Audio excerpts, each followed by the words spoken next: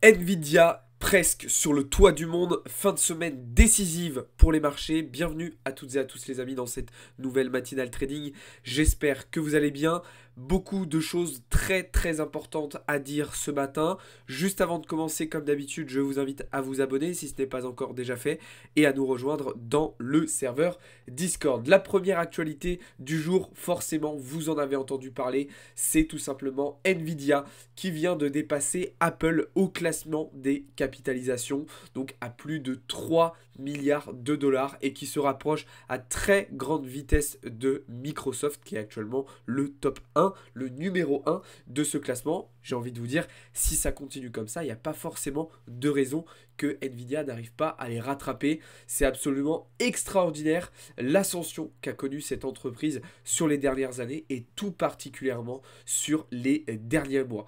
Donc euh, Nvidia quasiment sur le toit du monde. Une stat intéressante, c'est que si on rapporte cette capitalisation boursière au nombre d'employés chez Nvidia, eh ben on se rend compte que ça représente une capitalisation de 100 millions de dollars par employé. C'est absolument énormissime.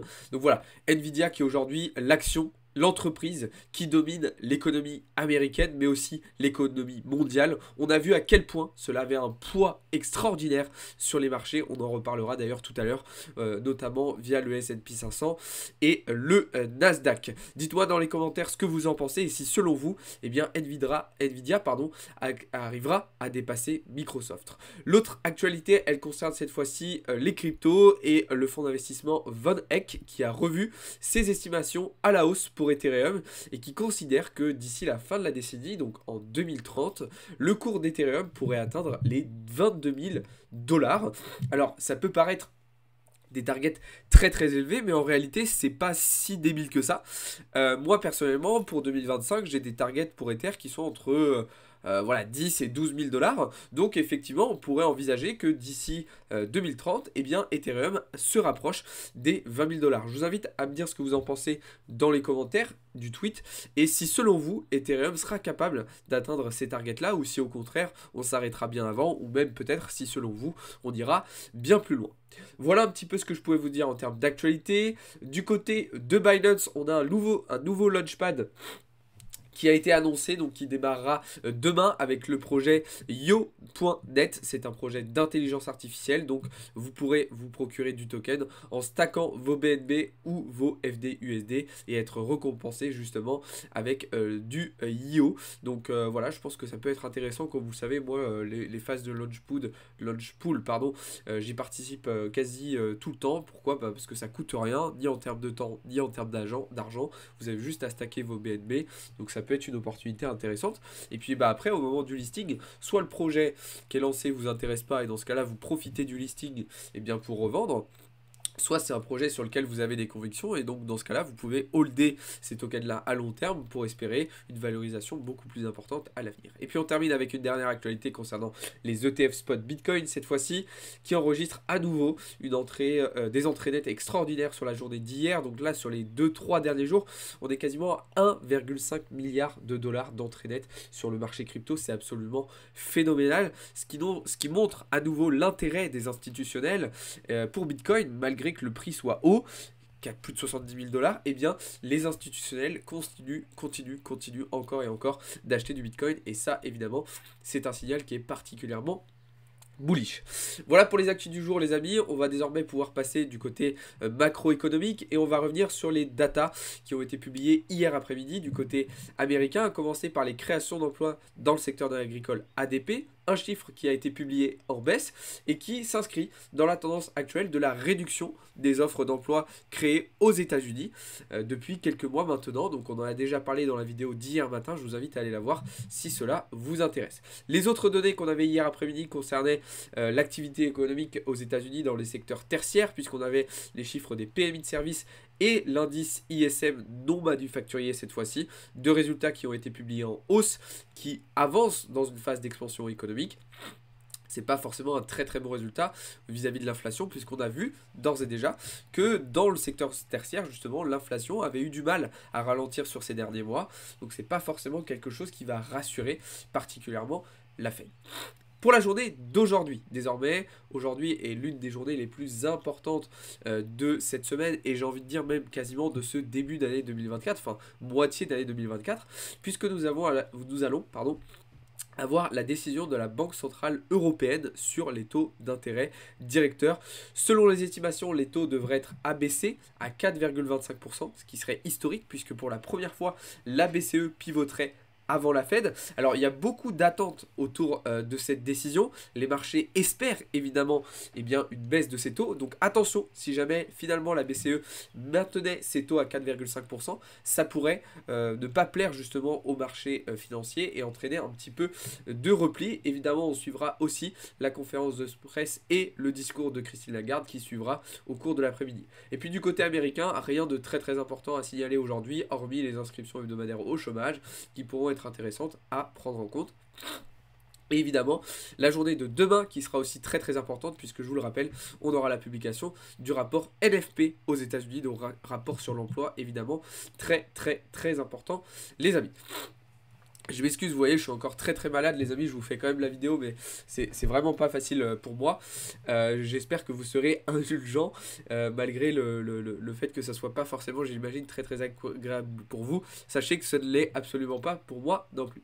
Maintenant que la partie macro c'est fait, c'est fait, on va pouvoir du coup se tourner du côté des marchés tradis d'un point de vue purement technique, à commencer par le dollar qui, pour le moment, tient bien sur son support, sur son support des 104 points.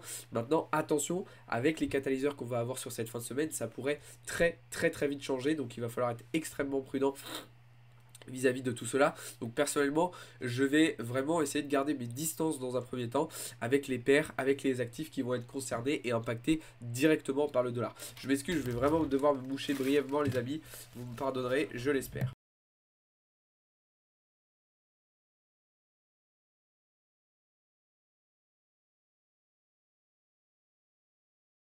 C'est bon, ça va mieux, ça va être plus agréable désormais. Désolé pour cette petite interruption. Donc je le disais, je vais vraiment garder mes distances avec les classes d'actifs qui vont être impactées directement euh, par le dollar américain pour le moment. Même si je pense qu'encore une fois, voilà, les, les catalyseurs macroéconomiques que l'on va avoir sur cette fin de semaine vont donner un sens plus défini au dollar. Donc soit on va être plutôt sur des datas inflationnistes et dans ce cas-là, on va sans doute avoir le dollar qui va remonter au-dessus des 104,4 points. Soit on va avoir des datas qui vont être vraiment positives et donc déflationnistes et dans ce cas-là, on pourrait voir le dollar casser son support des 104 points plutôt pour se diriger vers les 102 points. Alors, je vous en ai parlé tout à l'heure. Il y a eu aussi le rebond, enfin le rebond, les performances extraordinaires d'NVIDIA qui jouent sur les marchés. C'est la raison d'ailleurs pour laquelle je me suis fait stop loss sur ma position sur le S&P 500. Voilà, je suis transparent avec vous quand je gagne, je le suis aussi quand je perds. Voilà, je m'attendais à une respiration beaucoup plus profonde que ça. Eh bien, sur le S&P 500, bah c'est pas grave, ça fait partie du jeu, d'accord? Euh, Moi je m'attendais vraiment à ce qu'on aille plus bas, on peut pas avoir raison à tous les coups. Alors c'est pas très grave parce que dans tous les cas on avait pris pas mal de profits en fait sur euh, cette zone là, sur le S&P 500, donc en fait je suis quasiment sur du break-even avec, euh, avec ce, ce, stop loss là, donc ça ne change pas grand chose aux performances de ma semaine. On a vu aussi le Nasdaq qui était lui toujours dans une configuration haussière, nous réaliser de très très belles performances, je vous l'ai expliqué, mais le poids de Nvidia aujourd'hui sur les indices américains est absolument extraordinaire. C'est-à-dire que Nvidia à lui seul est capable de faire bouger l'intégralité des marchés. Et ça c'est absolument fou. Mais c'est aussi pas forcément une très très bonne nouvelle hein, que les marchés soient aussi centralisés autour d'une seule et même action. C'est pas forcément quelque chose de positif. Et puis on a toujours le Dow Jones qu'on est en train de travailler à l'achat position qui avait été ouverte lundi après-midi. Donc là, on voit que le dos est quand même en train de bien galérer sur cette zone de résistance. D'accord C'est la raison pour laquelle on a pris un deuxième TP euh, hier. On va patienter attendre de voir s'il est capable d'aller plus haut ou si jamais on est amené à faire une, une, respiration un petit peu plus profonde. Du côté des indices européens, il faudra être très très prudent aujourd'hui avec la décision donc, de la BCE. Je vous l'ai dit, les marchés qui attendent une baisse de taux. Donc si jamais on était amené à ne pas avoir cette fameuse baisse, eh ben on pourrait avoir du repli sur le CAC qui pourrait venir casser euh, ce support. On pourrait avoir aussi un repli plus important sur le DAX. D'ailleurs, j'espère que ce sera le cas, puisque là actuellement notre position est clairement dans le rouge, comme vous le voyez pour le moment. D'ailleurs, si on confirme en 4 heures la réintégration de cette structure, dans tous les cas, je clôturerai ma position. D'accord? J'attendrai pas qu'on aille jusqu'au bout, parce que ça sera un signal d'invalidation de mon scénario baissier, dans tous les cas, pour le DAX. Donc voilà comment je vais procéder. Du côté du Forex, désormais, bah, comme je vous l'ai dit tout à l'heure, je reste à distance des paires de devises et des classes d'actifs qui vont être impactées directement par le dollar américain pour le moment. Donc je ne prends pas de nouvelles positions. On est toujours à proximité d'une zone de polarité importante qui pourrait très rapidement nous emmener soit vers les 1.1, soit, soit vers cette zone d'intérêt au 1,07. Mais ça, c'est beaucoup trop tôt pour le dire pour le moment. Donc je reste en phase d'observation, en phase de réflexion. Du côté des matières premières, on a eu quelque chose de très très intéressant cette nuit avec le gold qui est reparti totalement à la hausse alors qu'on commençait à avoir des petites inquiétudes vis-à-vis de notre position. Donc là, très intéressant puisqu'on est en train de repasser une nouvelle zone de résistance importante. Si on prend appui dessus et qu'on reste au-dessus de ce niveau-là dans tous les cas, je pense qu'on devrait avoir de la continuation haussière sur cette fin de semaine en direction au minima des 2400 points. Attention, par contre, si on était amené à réintégrer cette phase de latéralisation, d'accord? En tout cas, j'en ai profité, moi personnellement, ce matin, pour prendre un nouveau TP partiel sur le gold et donc davantage sécuriser ma position avec un stop loss que j'ai remonté à BE. Voilà pour l'or. Et puis euh, du côté du pétrole, donc avec l'US Oil, vous savez qu'on a eu une belle sortie baissière euh, en ce début de semaine. Moi, ce que je vais attendre, c'est tout simplement un retour dans cette zone, d'accord Avec soit un retest bearish qui nous permettra de rentrer en short pour aller plus bas, soit une réintégration de cette structure précédente, alors qui pourrait nous ramener rapidement vers les 81, 83, voire 87 points.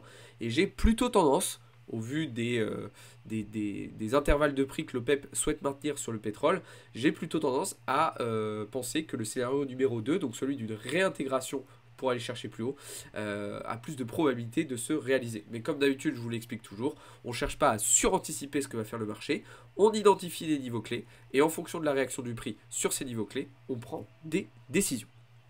On passe désormais du côté du marché crypto, les amis, à commencer euh, par Bitcoin. Pour le moment, toujours un petit peu d'incertitude à court terme sur BTC.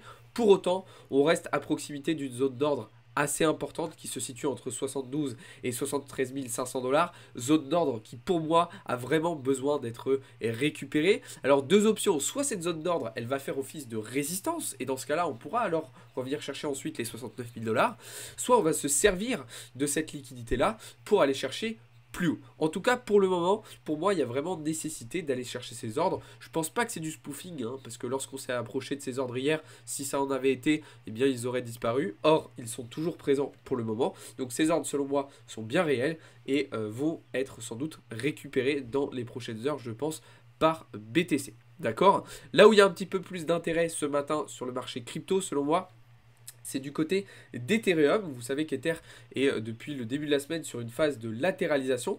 Et là, ce qui est intéressant, c'est qu'on est venu faire une déviation sur le haut de cette phase de range, donc qui nous a permis de récupérer la liquidité de ces highs. Donc normalement, désormais, la prochaine étape, ça va être de récupérer la liquidité qu'on a laissée sur les lows, donc sur le bas de cette phase de latéralisation. Alors attention, moi j'ai pris un petit trade, mais avec une toute petite taille de position, parce que ça reste très risqué. Le momentum est haussier et on n'est pas encore totalement repassé en dessous de cette zone de polarité. Donc il faut être très prudent. J'augmenterai peut-être ma taille de position eh bien, lorsque j'aurai des confirmations supplémentaires et qu'on aura réintégré justement eh bien, cette structure-là. Ok? Donc voilà ce que je pouvais vous dire du côté euh, d'Ethereum. Du côté du BNB, donc vous savez qu'on a atteint un nouvel ATH. Ce que j'attends désormais sur BNB, c'est un retest tout simplement de cette structure. Pourquoi? Ben, Parce que tout simplement, là, il y a plein de gens qui sont, en train de FOMO. Donc il y a plein euh, d'ordres à l'achat qui sont en train d'être ouverts. Et donc ce qui va se passer, c'est qu'on va probablement venir squeeze ces acheteurs tardifs pour revenir tester ce niveau-là avant de repartir à la hausse. Après, évidemment, ça dépendra aussi de ce que fait Bitcoin. Si jamais BTC retombe vers les 50 000 dollars, on aura très probablement un BNB qui ira chercher un petit peu plus bas. Mais ça, on le verra dans un second temps. C'est pas du tout d'actualité pour le moment. Ok? Et puis un autre setup intéressant que je vous ai partagé euh, aussi aujourd'hui, c'est du côté du Pit Network, donc qui est un projet que je trouve très très intéressant. On arrive sur une zone de polarité daily très importante. Si jamais on flippe ce niveau-là, alors ça peut déclencher un mouvement très très très bullish par la suite. En plus de ça, c'est un projet avec un fondamental qui est assez intéressant, donc évidemment c'est quelque chose qu'il faut surveiller. Cet après-midi, les amis, on se retrouvera à partir de 15h15 dans la salle des marchés du Discord pour la session trading du jour. Et puis ce soir à 20h30, nouvelle séance de prépa bullrun avec les membres Premium. Pour ne rien louper, vous savez ce qu'il vous reste à faire. N'hésitez pas à vous abonner et à nous rejoindre justement dans le serveur Discord. Vous avez tous les liens en bio et en description. Je vous souhaite à toutes et à tous une très très bonne journée et je vous dis à très vite. Ciao les amis, c'était Alex pour Blockchain Capital.